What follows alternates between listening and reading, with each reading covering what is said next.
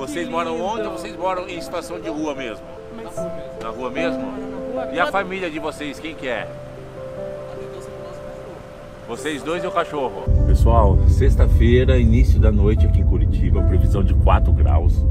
Então, muito frio. A gente conseguiu, por meio de doações de mantinhas, aí o serviço foi uma costureira que, que cedeu para nós de graça. A gente está indo agora para algumas praças para a gente é, encontrar alguns tutores de animais e os tutores precisando de calor e os animais também. Então a gente está indo com a equipe aí, acompanha a gente.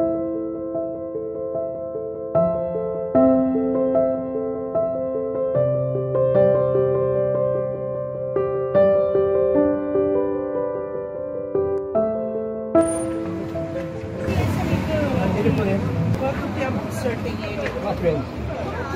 Na verdade, ele, ele não tem, ele tem um. Como Ele assim? tem você? É, ele me escolheu. E ele é sua família ou não? Ele é tudo que eu tinha na vida.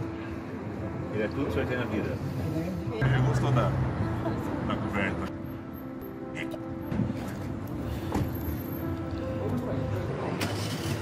Olha lá, ele leva, ó. E vai, olha lá.